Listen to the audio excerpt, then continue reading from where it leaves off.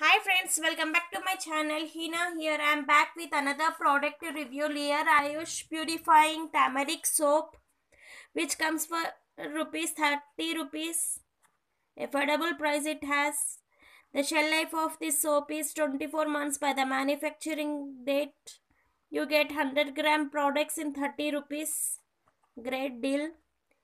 Coming to the packaging, com- soaps comes in a cardboard packaging outer and all the details are mentioned in packaging. It has goodness of tamarind and nalpamidi thailam ayurvedic soap its smell is ayurvedic herbal smell. The soap look like yellow color. Soap look like this. Good frequency it has affordable price. It helps in a clear and a glowing skin Turmeric help for uh, purification and also well for using antiseptic and healing properties. Nalpamidi Thailam help in skin clear and glowing. Color of soap is yellow tamarind color only.